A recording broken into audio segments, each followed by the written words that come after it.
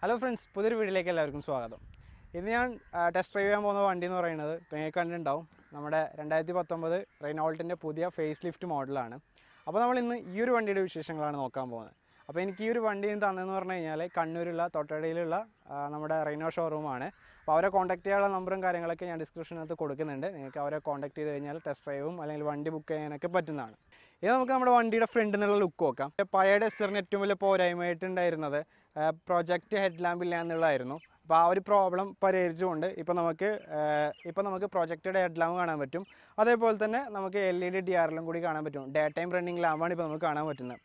Face lift വന്നപ്പോൾ front design ഫുള്ളായിട്ട് മാറി. ഇപ്പോൾ നമുക്ക് ഇവിടെ ഒരുപാട് ക്രോം ഡിസൈൻ കാണാൻ പറ്റുന്നുണ്ട്. അതേപോലെ നമ്മുടെ റിനോൾട്ടിന്റെ ലോഗോ കുറച്ച് വലുതാക്കിയിട്ടുണ്ട്. അതേപോലെ ഇവിടെ ഒരു പിയാനോ ബ്ലാക്ക് ഒക്കെ കൊടുത്തിട്ട് നമുക്കൊരു ഫ്രണ്ടിലോട്ട് ഒരു പൊക്കി വെച്ച പോലെ അല്ലെങ്കിൽ ഫ്രണ്ടിലേക്ക് ഒരു ഫോക്കസ് ചെയ്ത പോലെയാണ് ഇപ്പോൾ ലോഗോ കാണാൻ പറ്റുന്നത്. ഒരു സ്പോട്ടി ലുക്കാണ് പിന്നെ നമുക്ക് നമ്മുടെ ബോണറ്റിന്റെ കാര്യം പറയുകയാണെന്നുണ്ടെങ്കിൽ പഴയ ബോണറ്റിനകത്ത് ഇത്ര ബോഡി ലൈൻ ഉണ്ടായിരുന്നില്ല. ഒരു ബോണറ്റിന് ഒരു പവർ തോന്നിക്കുന്ന പോലെ അല്ലെങ്കിൽ ബോണറ്റിന്റെ ഒരു ബിൽഡ് ക്വാളിറ്റി കാണുന്നത് ഇപ്പോഴത്തെ ഡിസൈനിലാണ് പിന്നെ ബമ്പറിന്റെ കാര്യം പറയുകയാണെന്നുണ്ടെങ്കിൽ നമുക്ക് ഒരു താഴത്തെ ഡിസൈൻ കാണുന്നതെന്ന് പറഞ്ഞു കഴിഞ്ഞാൽ അടിഭാഗം ചെത്തിയെടുത്ത പോലെയാണ്. ഓഫ് റോഡിന് പറ്റുന്ന ഒരു രീതിയിലാണ് ഡിസൈൻ വന്നേക്കുന്നത്. അതേപോലെ ബമ്പറിന് ഒരു ലിപ്പൊക്കെ കൊടുത്തിട്ട് ഗ്രേ കളറൊക്കെ കൊടുത്തിട്ടുണ്ട്. പിന്നെ രണ്ട് ഫോഗ് ലാമ്പ് വേണം. ഫോഗ് ലാമ്പിന്റെ മുകളിലായിട്ട് നമുക്കൊരു ക്രോമിയം ഫിനിഷ് കൊടുത്തിട്ടുണ്ട്. അത് എന്താണെന്നറിയില്ല വണ്ടിക്ക് നല്ലൊരു നല്ലൊരു ഭംഗിയായിട്ടുള്ള ഫീൽ കിട്ടുന്നുണ്ട്. പിന്നെ നമുക്ക് നമ്മുടെ ബോണറ്റ് ഒന്ന് പൊക്കി നോക്കാം. ഇത് ലോക്കല്ല കേട്ടോ ഹൈഡ്രോളിക്കാണ് നമുക്കിത് ജസ്റ്റ് ഒന്ന് ഓപ്പൺ ചെയ്ത് പൊക്കി കൊടുത്താൽ മതി. ഓട്ടോമാറ്റിക്കലി പോയിക്കോളും. ഹൈഡ്രോളിക് സ്റ്റഡ് വരുന്നുണ്ട്. പിന്നെ വേറൊരു കാര്യം ബോണറ്റ് നമുക്ക് നല്ല വെയിറ്റ് ഉണ്ട്. പക്ഷേ ഈ ഒരു ഹൈഡ്രോളിക് സിസ്റ്റം ആയതുകൊണ്ട് നമുക്ക് അതിന്റെ വെയിറ്റ് അറിയുന്നില്ല എന്ന് മാത്രം. അപ്പോൾ നമുക്ക് ജസ്റ്റ് ഒന്ന് ടച്ച് ചെയ്യുമ്പോൾ തന്നെ ആ ഒരു ബിൽ ബിൽ ക്വാളിറ്റി മനസ്സിലാക്കാൻ പറ്റും. പിന്നെ ബോണറ്റിന്റെ അകത്തോട്ട് വരികയാണെന്നുണ്ടെങ്കിൽ നീറ്റ് ആൻഡ് ക്ലീൻ ആയിട്ടുള്ളൊരു എൻജിൻ കാണാൻ പറ്റും. പിന്നെ എൻജിന്റെ സ്പെക്കും കാര്യങ്ങൾ നമുക്ക് ഓടിക്കുമ്പോൾ പറയാം. ഇനി നമുക്ക് വശങ്ങളിലോട്ട് വരുമ്പോൾ നമുക്ക് മെയിനായിട്ട് പറയാനുള്ളതെന്ന് പറഞ്ഞു കഴിഞ്ഞാൽ നമുക്കൊരു സിക്സ്റ്റീൻ ഇഞ്ച് അലോയിൽ കാണാൻ പറ്റും. ഡയമണ്ട് കട്ടാണ് ഈ ഒരു ഡിസൈന് പറയുന്നത്. സ്റ്റൈലിഷ് ആയിട്ടുള്ള ഒരു അലോയിൽ തന്നെയാണ്. പിന്നെ ടയർ സൈസ് വരുന്നത് ഇരുന്നൂറ്റി പതിനഞ്ച് ബാർ അറുപത്തഞ്ചാണ്. പിന്നെ നമുക്ക് സൈഡിലോട്ട് വരുന്ന സമയത്ത് ഒരു സിൽവർ ക്ലാഡിങ് സൈഡ് കാണാൻ പറ്റും.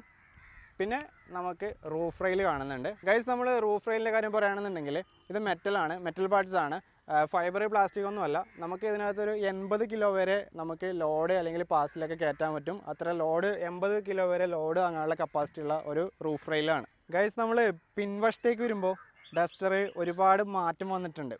ആദ്യം എടുത്തു പറയേണ്ട മാറ്റം എന്ന് പറയുന്നത് ബാക്കിൽ നമുക്ക് ബ്ലാക്ക് ക്ലാഡിങ് കാണുന്നുണ്ട്. ഇപ്പോൾ ഡസ്റ്ററിന്റെ ബാഡ്ജ് ആദ്യം നമുക്കൊരു സിൽവർ പ്ലേറ്റിനകത്തായിരുന്നു കണ്ടിരുന്നത്. ഇപ്പോൾ ബ്ലാക്ക് ക്ലാഡിങ്ങിനകത്താണ് ഡസ്റ്ററിന്റെ ബാഡ്ജ് കാണുന്നത്. ഇത് കാണുമ്പോൾ ഒരു ഒരു നല്ലൊരു സ്പോട്ടി ഫീൽ തന്നെയാണ് കിട്ടുന്നത്. അതേപോലെ തന്നെ ബാക്കിൽ നമുക്ക് കാണാൻ പറ്റുന്ന ഡീഫോഗർ കാണാൻ പറ്റും റിയർ വൈപ്പർ കാണാൻ പറ്റും. പിന്നെ നമുക്ക് ബാക്കിൽ റിയർ വൈപ്പർ വാഷറും കൂടി കാണുന്നുണ്ട്. ഗൈസിന് നമുക്ക് ടൈലാമിന്റെ കാര്യം പറയുകയാണെന്നുണ്ടെങ്കിൽ നമുക്കിപ്പോൾ ടൈലാമ്പ് കാണാൻ പറ്റുന്നത് വാട്ടർഫാൾ ഡിസൈനാണ് എൽ ഇ ഡി ടൈലാമ്പാണ് വരുന്നത്. പിന്നെ ബമ്പറിന്റെ കാര്യം വരികയാണെന്നുണ്ടെങ്കിൽ നമുക്കിവിടെ രണ്ട് കളറുണ്ട് ഓൾറെഡി ഒരു ബോഡി കളർ അതേപോലെ തന്നെ ഒരു ബ്ലാക്ക് കളറും കൂടി കൊടുത്തിട്ടുണ്ട്. ഒരു ഗ്രേ കളറും കൂടി കൊടുത്തിട്ട് അതിമനോഹരമായ രീതിയിലാണ് ഡിസൈൻ വന്നിരിക്കുന്നത്. ഇനി നമുക്ക് നേരെ ഇന്റീരിയറിലേക്ക് പോവാം. അതേപോലെ നമുക്ക് അതിനു മുമ്പായിട്ട് വേറൊരു കാര്യം നമുക്ക് ബോട്ട് സ്പേസ് ഒന്ന് ഓപ്പൺ ചെയ്ത് നോക്കാം. ബോട്ട് സ്പേസ് വരുന്നത് നമുക്ക് നാനൂറ്റി ലിറ്റർ ആണ്. പിന്നെ നമുക്ക് ഈ പാർസൽ ട്രേ ഇവിടുന്ന് എടുത്ത് മാറ്റാൻ പറ്റും. സീറ്റ് വേണമെന്നുണ്ടെങ്കിൽ ഫോൾഡ് ചെയ്ത് കഴിഞ്ഞാൽ നമുക്ക് വീണ്ടും ബോട്ട് സ്പേസ് എക്സ്റ്റെൻഡ് ചെയ്യാൻ പറ്റും. പിന്നെ നമുക്ക് ഡിക്കി ക്ലോസ് ചെയ്യാൻ വേണ്ടിയിട്ട് നമുക്കൊരു ഡെഡിക്കേറ്റ് ആയിട്ടുള്ള ഒരു ഹാൻഡിൽ കാണാൻ പറ്റുന്നുണ്ട്. നമുക്കിത് വലിച്ചിട്ട് ക്ലോസ് ചെയ്യാനും കൂടി പറ്റും. ഗൈസ് നമ്മുടെ പഴയ ഡസ്റ്ററിനകത്ത് ഒരുപാട് പോരായ്മകൾ ഉണ്ടായിരുന്നു. ഒരു ലക്ഷറി ഫീൽ കിട്ടുന്നില്ല എന്നായിരുന്നു ആദ്യം എല്ലാവരും പറഞ്ഞുകൊണ്ടിരുന്നത്. പക്ഷേ പുതിയ ഡസ്റ്റർ വന്നപ്പോൾ കംപ്ലീറ്റ് ഇന്റീരിയറൊക്കെ മാറിയിട്ടുണ്ട്. അകത്ത് ഫുൾ ബ്ലാക്കാണ് ഫുള്ളായിട്ട് നമുക്ക് വരുന്നത്. പിന്നെ ഒരു ഐസ് ബ്ലൂ ഗ്രാഫിക്സ് കൂടി ഫ്രണ്ട് ഡാഷ്ബോർഡിനകത്ത് നമുക്ക് കാണാൻ പറ്റും. പിന്നെ ഡാഷ്ബോർഡിന്റെ കാര്യം എടുത്തു പറയുകയാണെന്നുണ്ടെങ്കിൽ നമുക്കൊരു സെവൻ ഇഞ്ച് ഇൻഫോർടൈൻമെന്റ് സിസ്റ്റം കാണാം. സെൻട്രൽ കൺസോൾ നോക്കുകയാണെന്നുണ്ടെങ്കിൽ നമുക്കിവിടെ പിയാനോ ബ്ലാക്ക് കൊടുത്തിട്ട് വേറെ തന്നെ ഒരു ഡിസൈനാണ് പിന്നെ എ സി വെന്റിന്റെ പഴയ വെന്റ് ഇങ്ങനെയല്ലായിരുന്നു. അപ്പോൾ പുതിയ എ സി വെന്റ് വന്നപ്പോൾ നമുക്ക് ഒരു ക്രോമിയം ഫിനിഷൊക്കെ സെന്ററിനകത്ത് കൊടുത്തിട്ട് ഒരു അടിപൊളി ഡിസൈനാണ് പിന്നെ നമുക്ക് സെന്റർ കൺസോളിനകത്ത് കാണാൻ പറ്റുന്നത് ഒരു സെന്റർ ലോക്ക് ബട്ടനാണ് ലോക്ക് അൺലോക്ക് ഇവിടെ കാണാൻ പറ്റും. അതേപോലെ നമുക്കൊരു അസാഡ് ലൈറ്റ് കാണാൻ പറ്റും. പിന്നെ നമ്മുടെ ഇൻഫോർടൈൻമെന്റ് സിസ്റ്റത്തിന്റെ കാര്യം ഒരുപാട് കാര്യങ്ങൾ പറയാനുണ്ട്. അതിനു മുമ്പായിട്ട് നമുക്കിവിടെ ഡാഷ്ബോർഡിനകത്ത് കാണാൻ പറ്റുന്നത് ക്രൂയിസ് കൺട്രോൾ കാണാൻ പറ്റും. അതേപോലെ നമുക്കൊരു സ്പീഡ് ലിമിറ്റ് സെറ്റ് ചെയ്യാൻ വേണ്ടിയിട്ട് നമുക്കൊരു ബട്ടണും കൂടി ഇവിടെ കാണാൻ പറ്റും. താഴോട്ട് വരാണെന്നുണ്ടെങ്കിൽ നമുക്ക് ഓട്ടോ ക്ലൈമറ്റ് എ കാണാൻ പറ്റും. പിന്നെ എ സിയുടെ ഫിസിക്കൽ ബട്ടണാണ് നമുക്ക് കാണാൻ പറ്റുക. പിന്നെ താഴെ നമുക്ക് നമ്മുടെ ഈക്കോ ബട്ടൺ കാണാൻ പറ്റും. ഈക്കോ ബട്ടൺ എന്ന് പറഞ്ഞു കഴിഞ്ഞാൽ നമ്മുടെ വണ്ടി ഈ ഒരു വണ്ടി എന്ന് പറയുന്നത് നൂറ്റിപ്പത്ത് പവർ പി എസ് ആണ്. അത് നമുക്ക് ഡൈല്യൂട്ട് ചെയ്തിട്ട് അല്ലെങ്കിൽ പവർ കുറച്ചിട്ട് മൈലേജ് കൂട്ടാൻ വേണ്ടിയിട്ടുള്ളതാണ് ഈക്കോ ബട്ടൺ എന്ന് പറയുന്നത്. പിന്നെ നമുക്കിവിടെ ഒരു പവർ ഔട്ട്ലെറ്റ് കാണാൻ പറ്റും. നമുക്ക് ചാർജ് ചെയ്യാൻ വേണ്ടിയിട്ടുള്ളത്. പിന്നെ ഇവിടെ നമുക്ക് ബോട്ടിലൊക്കെ ഉള്ള സ്റ്റോറേജ് സ്പേസ് ഉണ്ട്. അതേപോലെ സ്റ്റോറേജ് സ്പേസിനകത്ത് ചെറിയൊരു സ്റ്റിക്ക് കൊടുത്തിട്ടുണ്ട്. ഡസ്റ്റും കാര്യങ്ങളൊക്കെ പിടിക്കാണ്ടിരിക്കാൻ വേണ്ടിയിട്ടാണ്. ഇനി നമുക്ക് ഗിയറിനൊപ്പം നോക്കുകയാണെന്നുണ്ടെങ്കിൽ സിൽവർ ഫിനിഷ് കൊടുത്തിട്ടുണ്ട്. സിക്സ് സ്പീഡ് മാനുവൽ ഗിയറാണ് ഇതിനകത്ത് വരുന്നത്. പിന്നെ ഹാൻഡ് ബ്രേക്കിന്റെ ടിപ്പിനകത്തും ഒരു ക്രോമിയം ഫിനിഷും കൂടി കൊടുത്തിട്ടുണ്ട്. നമ്മുടെ പുതിയ ഡസ്റ്ററിന്റെ കാര്യത്തിൽ എടുത്തു പറയേണ്ട കാര്യം പഴയ ഡസ്റ്ററിനകത്ത് കോൾഡ് ഡ്രോ ബോക്സ് ഉണ്ടായിരുന്നില്ല. പുതിയ പുതിയ ഡസ്റ്ററിനകത്ത് നമുക്ക് കോൾഡ് ഡ്രോ ബോക്സ് കാണാൻ പറ്റും. നമുക്ക് രണ്ട് ഡ്രോ ബോക്സ് കാണാൻ പറ്റും. താഴെ ഒരെണ്ണം അത്യാവശ്യം സ്പേസ് ഉള്ളതുണ്ട്. നമുക്ക് മുകളിലും അത്യാവശ്യം സ്പേസ് ഉള്ളതുണ്ട്. നമുക്ക് കോൾഡ് നമുക്ക് ഈ ഒരു ഭാഗത്ത് ചെറിയൊരു ടാപ്പ് ഓപ്പൺ ചെയ്യുകയാണെന്നുണ്ടെങ്കിൽ നമുക്ക് ചെറിയ പെപ്സിയുടെ ബോട്ടിലൊക്കെ വെച്ചിട്ട് നമുക്ക് കൂളാക്കാൻ പറ്റും. ഇനി നമുക്ക് സ്റ്റെയറിങ്ങിന്റെ കാര്യത്തിലോട്ട് വരാം. ലെതർ റാപ്പിഡ് ആയിട്ടുള്ള ആണ്. ത്രീ സ്പോക്കാണ് സ്റ്റിയറിംഗ് വരുന്നത്. പിന്നെ നമുക്കിവിടെ സിൽവറിന്റെ ഷെയ്ഡിങ് കൊടുത്തിട്ട് അതിമനോഹരമായ ഡിസൈനാണ് കാണാൻ പറ്റുക. അതുപോലെ സ്റ്റാരിങ്ങിനകത്തുള്ള കൺട്രോൾ എന്ന് പറയുന്നത് നമുക്ക് സ്പീഡ് ലിമിറ്റ് കൂട്ടാനും കുറയ്ക്കാനും നമ്മുടെ ക്രൂയിസ് കൺട്രോളിന്റെയും കൺട്രോൾ ബട്ടനാണ് നമുക്ക് സ്റ്റാരിങ്ങിനകത്ത് കാണാൻ പറ്റുക. പിന്നെ നമുക്ക് റിനോൾട്ടിന്റെ ലോഗോ കാണുന്ന സമയത്ത് പഴയ ഒരു ഡസ്റ്ററിനകത്ത് ഈ ഒരു രീതിയിലായിരുന്നില്ല. പക്ഷേ ഇപ്പോൾ ഇതിനകത്ത് ഒരു പിയാനോ ബ്ലാക്ക് ഒക്കെ കൊടുത്ത് അതിന്റെ സെന്ററിലാണ് ഡസ്റ്ററിന്റെ ലോഗോ വരുന്നത്. നമ്മൾ സ്റ്റെയറിംഗ് വീൽ നോക്കിയപ്പോൾ ഇൻഫോർടൈൻമെന്റ് സിസ്റ്റത്തിന്റെ കൺട്രോളുകളൊന്നും സ്റ്റെയറിങ്ങിനകത്ത് കണ്ടില്ല. പക്ഷേ അത് താഴെയായിട്ട് സ്റ്റെയറിംഗ് മൗണ്ടായിട്ട് താഴെയായിട്ട് കൊടുത്തിട്ടുണ്ട്.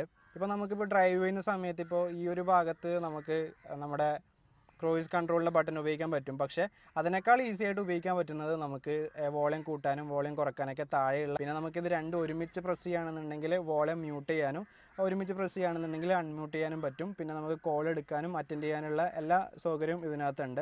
അതേപോലെ ഈ ഒരു കൺട്രോൾ സിസ്റ്റത്തിനകത്ത് താഴെ നമുക്ക് ഒരു സ്ക്രോൾ ബട്ടൺ കാണുന്നുണ്ട്. നമുക്കിപ്പോൾ എഫ് എം ഒക്കെ എഫ് എം സ്റ്റേഷനൊക്കെ ചേഞ്ച് ചെയ്യാനും അങ്ങനെയുള്ള കാര്യത്തിനൊക്കെ നമുക്ക് ഈ ഒരു സ്ക്രോൾ ബട്ടൺ ഉപയോഗിക്കാൻ പറ്റും. ഇനി നമുക്ക് സീറ്റിന്റെ കാര്യം നോക്കാം. സീറ്റ് വരുന്നത് ഫുൾ ഫാബ്രിക് സീറ്റാണ് പിന്നെ നമുക്ക് സീറ്റ് അഡ്ജസ്റ്റ് ചെയ്യാൻ വേണ്ടിയിട്ട് നമുക്കിവിടെ മാനുവൽ ആയിട്ടുള്ള മാനുവൽ സിസ്റ്റമാണ് വരുന്നത്. ഇലക്ട്രിക് അഡ്ജസ്റ്റ്മെന്റ് ഒന്നും അല്ല. നമുക്ക് പിന്നെ സീറ്റിന് എടുത്തു പറയേണ്ട കാര്യം എന്ന് പറയുന്നത് നന്നായിട്ടുള്ള ടൈ സപ്പോർട്ടാണ് ടൈ സപ്പോർട്ട് എന്ന് പറയുന്നത് നല്ല രീതിയിലാണ്. ഇപ്പോൾ ഞാൻ കാൽ വെക്കുന്ന സമയത്ത് കാണാൻ പറ്റും. ഇപ്പോൾ കാൽ നമ്മൾ ആക്സിലേറ്ററിന്റെ മുകളിലൊക്കെ ആണെന്നുണ്ടെങ്കിലും ക്ലച്ചിന്റെ മുകളിലൊക്കെ ആണെന്നുണ്ടെങ്കിലും നമുക്ക് ഈ ഒരു ടൈ സപ്പോർട്ട് നന്നായിട്ട് ഫീൽ ചെയ്യുന്നുണ്ട്. ലോങ് യാത്രയ്ക്ക് നല്ലൊരു സീറ്റാണ് നമ്മുടെ ഡെസ്റ്ററിന്റെ സീറ്റ് എന്ന് പറയുന്നത്. ഇനി നമുക്ക് ബാക്ക് സീറ്റിലോട്ട് വരാം. ബാക്ക് സീറ്റിലോട്ട് വരുമ്പോൾ ഇപ്പോൾ ലെഗ് സ്പേസ് നോക്കാം. അത്യാവശ്യം നല്ല ലെഗ് സ്പേസ് ഉണ്ട്. ഞാൻ എത്ര ഫ്രണ്ടിലോട്ട് ഇരുന്നാലും എനിക്ക് നല്ല ലെഗ് സ്പേസ് കിട്ടുന്നുണ്ട്. അത് കൂടാതെ തന്നെ അപ്പോൾ ഈ ഒരു സീറ്റിന്റെ കവർ ഉള്ളതുകൊണ്ട് എനിക്ക് കാണാൻ പറ്റില്ല. ഫ്രണ്ട് സീറ്റ് സ്കൂപ്പ് ചെയ്തിട്ടുണ്ട്. അപ്പോൾ അത്യാവശ്യം ലെങ്ത് ഉള്ള ആൾക്കാർ ഇരിക്കുകയാണെന്നുണ്ടെങ്കിലും ഇവിടെ സ്കൂപ്പ് ചെയ്തുകൊണ്ട് നമുക്ക് അത്രയും സ്പേസ് കിട്ടുന്നുണ്ട്. പിന്നെ ബാക്കിൽ ഇരിക്കുന്ന സമയത്താണെന്നുണ്ടെങ്കിലും അത്യാവശ്യം നല്ല ടൈ സപ്പോർട്ട് ഉണ്ട്. പിന്നെ നമുക്ക് ബാക്കിൽ ഒരു ഹാൻഡ് റെസ്റ്റ് ഉണ്ട്. അതിൽ രണ്ട് കപ്പ് ഹോൾഡർ ഉണ്ട്. പിന്നെ നമുക്ക് ഈ ഒരു ഡോറിന്റെ സൈഡ് ചെറിയൊരു സ്റ്റോറേജ് സ്പേസ് ഉണ്ട്. പിന്നെ ബാക്കിൽ എടുത്തു പറയേണ്ട ഒരു കാര്യം. ബാക്കിൽ യാത്ര ചെയ്യുന്ന പാസഞ്ചേഴ്സിന് മൊബൈൽ ചാർജ് ചെയ്യാൻ വേണ്ടിയിട്ട് ബാക്കിൽ പാസൽ ട്രെയിനകത്ത് ഒരു ചാർജിങ് പോർട്ട് കൊടുത്തിട്ടുണ്ട്. അത് ബാക്കിൽ ഇരിക്കുന്നവർക്ക് മൊബൈൽ ചാർജ് ചെയ്യാൻ വളരെയധികം യൂസ്ഫുൾ ആവുന്നതാണ്. പിന്നെ ബാക്ക് സോൺ പറയുകയാണെന്നുണ്ടെങ്കിൽ നല്ല കംഫർട്ട് സോണാണ് വിസിബിലിറ്റിയുടെ കാര്യം പറയുകയാണെന്നുണ്ടെങ്കിൽ കുഴപ്പമൊന്നുമില്ല. നമുക്ക് അത്യാവശ്യം നല്ല വ്യൂ ഒക്കെ ഉണ്ട്. പിന്നെ ബാക്കിൽ പാസൽ ട്രേയുടെ സ്പേസ് ഉണ്ട്. നമുക്ക് എന്തെങ്കിലും ചെറിയ ചെറിയ സാധനങ്ങളൊക്കെ വെക്കാനുള്ള ഒരു സ്റ്റോറേജ് സ്പേസ് ആയിട്ട് ഉപയോഗിക്കാം. പിന്നെ ഹെഡ് സ്പേസ് കുഴപ്പമില്ല. നല്ല ഹെഡ് സ്പേസ് തന്നെയുണ്ട്. പിന്നെ നമുക്ക് ഇവിടെ ഒരു ഹാൻഡിലും കൂടി കൊടുത്തിട്ടുണ്ട്. പിന്നെ ഈ ഒരു ഭാഗത്തായിട്ട് ബാക്കിലിരിക്കുന്നവർക്ക് റീഡിംഗ് ലാമ്പ് കൊടുത്തിട്ടുണ്ട്. ഈ ഒരു ഭാഗം രണ്ട് രണ്ട് സൈഡും രണ്ട് റീഡിംഗ് ലാമ്പ് കൊടുത്തിട്ടുണ്ട്. അപ്പോൾ ഫീച്ചേഴ്സിന്റെ കാര്യത്തിൽ നമ്മുടെ ഡസ്റ്റർ ഒട്ടും തന്നെ പിന്നിലല്ല എന്ന് പറയാം. ഗൈസ് നമുക്ക് വണ്ടി ഒന്ന് ഓടിച്ചു നോക്കാം. അതിന് മുമ്പായിട്ട് കുറച്ച് കാര്യങ്ങൾ പറയാനുണ്ട്. ഞാൻ ഇൻഫോർടൈൻമെന്റ് സിസ്റ്റത്തിന്റെ കാര്യമൊന്നും പറഞ്ഞിട്ടുണ്ടായിരുന്നില്ലല്ലോ. ഇൻഫോർടൈൻമെന്റ് സിസ്റ്റത്തിനകത്ത് നമുക്ക് ആപ്പിൾ കാർപ്ലേ അതേപോലെ ആൻഡ്രോയിഡ് ഓട്ടോ ഉണ്ട്. അതേപോലെ ഇതിനകത്ത് പുതിയൊരു ഫീച്ചറായിട്ട് കാണുന്നത് ഡ്രൈവിംഗ് ഈക്കോ സ്കോർ എന്ന് പറയുന്ന ഒരു ഫീച്ചർ ഉണ്ട്. അതെന്താണെന്ന് വെച്ച് കഴിഞ്ഞാൽ നമ്മളുടെ ഗിയർ ഷിഫ്റ്റ് അതേപോലെ നമ്മളുടെ ആക്സലറേഷൻ അങ്ങനെയുള്ള കാര്യങ്ങളൊക്കെ മെയിന്റെയിൻ ചെയ്യുന്നതാണ്. അതായത് നമ്മൾ വണ്ടി ഓടിച്ചു കഴിഞ്ഞാൽ നമ്മളുടെ ഗ്രേഡ് അല്ലെങ്കിൽ നമ്മുടെ സ്കോറൊക്കെ നമുക്ക് ഈ ഒരു സിസ്റ്റത്തിൽ നോക്കാൻ പറ്റും. അങ്ങനെയുള്ളൊരു കാര്യമാണ്. പിന്നെ വിസിബിലിറ്റിയുടെ കാര്യത്തിലാണ് എനിക്ക് ഏറ്റവും കൂടുതൽ പറയാനുള്ളതെന്ന് പറഞ്ഞു കഴിഞ്ഞാൽ നമുക്ക് ബോണറ്റ് കണ്ട് വണ്ടി ഓടിക്കാൻ പറ്റും. ഈ ബോണറ്റ് കണ്ട് വണ്ടി ഓടിക്കുമ്പോഴാണ് ശരിക്കും നമുക്ക് എസ് യു വി ഓടിക്കുന്ന ആ ഒരു ഫീൽ കിട്ടുന്നത്. പിന്നെ നമുക്ക് സൈഡായിട്ട് ഒരു ഹാംറസ്റ്റ് ഉണ്ട്. ഇനി നമുക്ക് എന്തായാലും വണ്ടി ഓടിച്ചു നോക്കാം. അപ്പോൾ ഈ ഒരു വണ്ടി എന്ന് പറയുന്നത് one point five litre four cylinder എഞ്ചിനാണ് നൂറ്റിപ്പത്ത് പി എസ് ആണ് പവർ വരുന്നത്. ഇരുന്നൂറ്റി നാൽപ്പത്തഞ്ച് എണ്ണം ടോർക്കാണ് വരുന്നത്. അപ്പോൾ ടോർക്കിന്റെ കാര്യത്തിൽ ഒന്നും പറയാനില്ല. ഇപ്പോൾ ഞാൻ വണ്ടി ഓടിക്കുമ്പോൾ അതിന്റെ കാര്യങ്ങളൊക്കെ നിങ്ങളോട് പറയാം.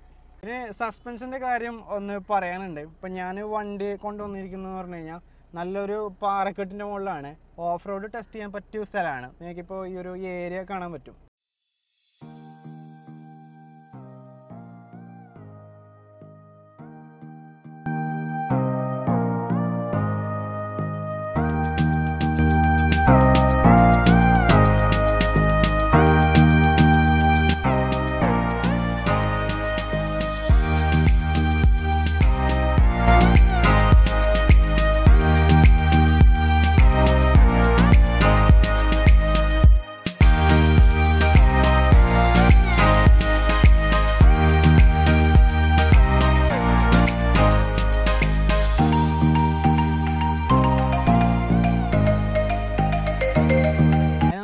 സസ്പെൻഷൻ വരുന്നത്. മാക് ഫോക്സ് ഇൻഡിപെൻഡന്റ് കോയിൽ സ്പ്രിംഗ് ആണ് ഫ്രണ്ട് സസ്പെൻഷൻ വരുന്നത്. നല്ല സ്മൂത്ത് ആയിട്ടുള്ള സസ്പെൻഷൻ ആണ്. ഇപ്പോൾ ഡസ്റ്റർ ലോഞ്ച് ചെയ്തത് മുതൽ ഈ ഒരു സസ്പെൻഷൻ തന്നെയാണ് വരുന്നത്. ഇതുവരെ ആർക്കും ഒരു ഡ്രോബാക്ക് ഇല്ല. എല്ലാവരോടും എല്ലാവരുടെയും ഫീഡ്ബാക്ക് നല്ലൊരു ഫീഡ്ബാക്ക് തന്നെയാണ് ഡസ്റ്ററിന്റെ സസ്പെൻഷനെ പറ്റിയിട്ട്. റിയർ സസ്പെൻഷൻ വരുന്നത് ഡബിൾ ആക്ടിങ് ആണ്. ബാക്കിൽ നല്ല മികച്ചൊരു സസ്പെൻഷനാണ് ഞാനിപ്പോൾ ഈ ഒരു ഓഫ് റോഡിൽ ജസ്റ്റ് ഒന്ന് വണ്ടി ഓടിച്ചു ഈ പാറക്കെട്ടിന്റെ മുകളിൽ ജസ്റ്റ് ഒന്ന് വണ്ടി ഓടിക്കുമ്പോൾ കാണാൻ പറ്റും. അകത്തേക്ക് ഒരു ഫീലും കിട്ടുന്നില്ല. അകത്തേക്ക് നല്ലൊരു ഫീലാണ് നമ്മൾ വലിയ പാറക്കെട്ടിന്റെ മുകളിലേക്ക് കയറുമ്പോൾ നമുക്ക് അകത്തോട്ട് അങ്ങനെ ഒന്നും അറിയുന്നില്ല സസ്പെൻഷന്റെ കാര്യത്തിൽ ഇതിന് നമുക്ക് വണ്ടി ഒന്ന് ഓടിച്ചു നോക്കാം. ഇപ്പോൾ വണ്ടിയുടെ കാര്യം പറയുകയാണെന്നുണ്ടെങ്കിൽ ഇപ്പോൾ ഒരു എസ് യു വി ആകുമ്പോൾ അത്യാവശ്യം സൗണ്ടും കാര്യങ്ങളൊക്കെ അകത്തുണ്ടാവും. ഇപ്പോൾ റിനോൾട്ട് നന്നായി റെനോ നന്നായിട്ട് ശ്രദ്ധിച്ചിട്ടുണ്ട്. എൻ വി എച്ച് ലെവലൊക്കെ നന്നായിട്ട് ശ്രദ്ധിച്ചിട്ടുണ്ട്. ഇപ്പോൾ ഡീസൽ എഞ്ചിനാണ് പക്ഷേ സൗണ്ടും കാര്യങ്ങളൊന്നും ഒട്ടും തന്നെ ഇല്ല. പതിനാറിഞ്ച് ടയർ സൈസാണ് വലിയൊരു ടയറാണ് അപ്പോൾ ആ ഒരു ടയർ നോയ്സ് പോലും അകത്തോട്ട് ഒന്നും വരുന്നില്ല. ഇപ്പോൾ എ സി നമ്മളൊരു മൂന്നിലോ നാലിലൊക്കെ ഇടുകയാണെന്നുണ്ടെങ്കിൽ എ സിയുടെ ഫാനിന്റെ ചെറിയൊരു സ്പീഡ് നമുക്ക് അകത്തേക്ക് കേൾക്കുന്നുണ്ട്. അതല്ലാതെ വണ്ടി ഓടിക്കുന്ന സമയത്ത് ഒരു അരോസകരമായിട്ടുള്ള എന്തെങ്കിലും സൗണ്ടും കാര്യങ്ങളും അങ്ങനെയുള്ള ഒന്നും തന്നെ അകത്തോ അകത്തോട്ട് കേൾക്കുന്നില്ല. പിന്നെ ഗെയർ ഷിഫ്റ്റിന്റെ കാര്യം പറയാം. ഇപ്പോൾ ഗെയർ ഷിഫ്റ്റൊക്കെ പറയുകയാണെന്നുണ്ടെങ്കിൽ നല്ല പക്ക ഗെയർ ഷിഫ്റ്റാണ്. നമുക്ക് എല്ലാം കൃത്യം തന്നെ അത് ഗെയർ ഷിഫ്റ്റ് ചെയ്യുന്ന സമയത്ത് നമുക്ക് മനസ്സിലാവുന്നുണ്ട്. അപ്പോൾ വണ്ടിയുടെ പവറും കാര്യങ്ങളൊക്കെ ഞാൻ പറഞ്ഞു. ടോർക്ക് ഇരുന്നൂറ്റി നാൽപ്പത്തഞ്ചാണ് വരുന്നത്. അതേപോലെ വണ്ടി നൂറ്റി പത്ത് പി എസ് പവറാണ് വൺ പോയിന്റ് ഫൈവ് ലിറ്റർ എഞ്ചിനാണ് വണ്ടി വരുന്നത്. സസ്പെൻഷന്റെ കാര്യവും ഞാൻ പറഞ്ഞു കഴിഞ്ഞു. പിന്നെ ഈ ഒരു വണ്ടി ഓടിക്കുന്ന സമയത്ത് നമുക്ക് ബോണറ്റ് കൊണ്ട് ഓടിക്കാൻ പറ്റും.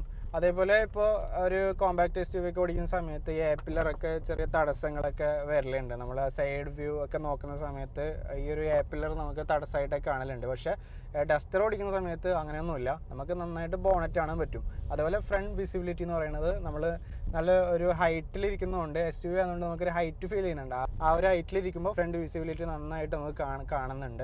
അപ്പോൾ നമുക്ക് ആ ഒരു ബുദ്ധിമുട്ടൊന്നും ഇല്ലാതെ തന്നെ വണ്ടി നന്നായിട്ട് ഓടിക്കാൻ പറ്റും. വണ്ടി ടോർക്കൊന്ന് കാണിച്ചു തരാം ഇത് ഇരുന്നൂറ്റി നാൽപ്പത്തഞ്ചെണ്ണം ടോർക്കാണ് ഇപ്പോൾ ഞാൻ ആക്സിലേറ്റർ ഇല്ലാതെ ഫസ്റ്റ് കയറിയിട്ട് തന്നെ വണ്ടി മൂവ് ചെയ്യുന്നുണ്ട്. ഞാൻ ഒട്ടും തന്നെ ആക്സിലേറ്റർ കൊടുത്തിട്ടില്ല.